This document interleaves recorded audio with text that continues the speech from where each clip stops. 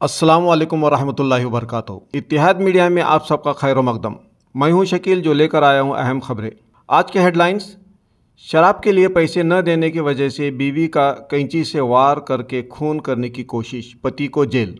शाहपुर, बेलगाम में बंद घर फोड़कर चार लाख के एवज की चोरी। बेलगाम ज़िले में अप्रैल महीने में लगातार 16 दिनों से बारिश। शिव जयंती के जुलूस के मौके पर नए नियम और कानून को लेकर ज़बरदस्ती न करने की मांग।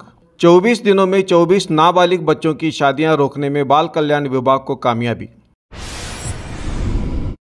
राजकट्टी गाँव हुक्केरी तालुके की रहने वाली फ़िलहाल जनता प्लॉट होनगा में रह रही अल्लावा नावर उम्र पैंतीस को अपने शोहर ने शराब के लिए पैसे न देने की वजह से उसके पेट में चार बार कैंची से वार करके जान से मारने की कोशिश की।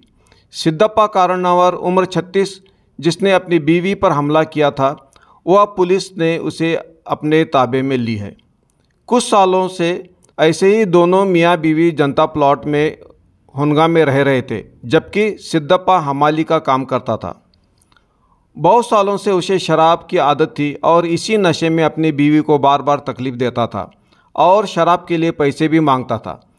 पीर के दिन बतारिक 26 अप्रैल आधी रात ढाई बजे को इस वारदात को उसने अंजाम दिया। उनके पड़ोसी इस खबर को सुनते ही यल्लावा को जख्मी हालत में सिविल हॉस्पिटल पहुँचाया। काकती पुलिस वारदात के जगह जाकर पंचनामा कर आगे की तफ्तीश जारी है। बताया जा रहा है कि पीर के रोज़ बतारिक 25 अप्रैल के शाम बसवन गली शाहपुर बेलगा में एक बंद घर का दरवाज़ा तोड़कर सोने चांदी के जेवर के साथ रोक रकम मिलाकर तकरीबन चार लाख की चोरी को अंजाम दिया। चोरी के सिलसिले में वर्षा महेश बराले ने रेलवे स्टेशन के करीब पुलिस स्टेशन में चोरी की फरियाद दाखिल की। वर्षा ने बताया कि कुछ काम के वजह से घर के सब अफराद पूना चले गए थे और उसी दौरान चोरों ने घर का पिछला दरवाज़ा तोड़कर चोरी को अंजाम दिया। उन्होंने आगे भी ये कहा कि कपाट तोड़कर 10 ग्राम के सोने के जेवरात, चार किलो चांदी, तांबे के दो हंडे और एक लाख पचास हज़ार कैश लेकर भाग गए।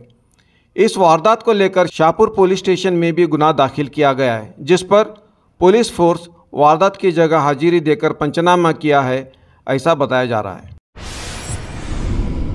इस साल अप्रैल महीने में पिछले 26 दिनों में लगातार 16 दिनों से तेज़ हवाओं के साथ ज़ोर की बारिश हो रही है। अप्रैल में सरासरी अंदाजन बासठ पॉइंट आठ मिलीमीटर बारिश की हाजिरी हो चुकी है। बताया जा रहा है कि बलगाम तालुके में एक सौ उनसठ मिलीमीटर की हाजिरी हो चुकी है। पिछले महीने यानी मार्च में भी पिछले साल के मुकाबले ज़्यादा बारिश हो चुकी है, ऐसा बताया जा रहा है। और ये बेमौसम बारिश की वजह से गन्ने की पैदावार के लिए फ़ायदेमंद और तरकारी भाजी के पैदावार के लिए नुकसानदायक हो चुकी है। बताया जा रहा है कि शिव जयंती के जुलूस के मौके पर जुलूस के जिम्मेदारान के आईडी प्रूफ की मांग पुलिस महकमे के तरफ़ से की जा रही है।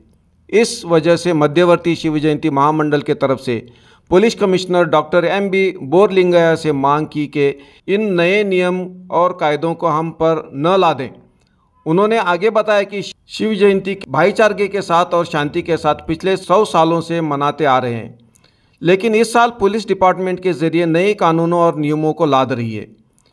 जो नए नियम पुलिस महकमे के तरफ़ से बताए जा रहे हैं, वो हमें कबूल नहीं, क्योंकि ये नियम गलत हैं और हम इन गलत नियमों का पालन नहीं करेंगे, ऐसा शिव जयंती महामंडल के मीटिंग के वक्त तय किया गया।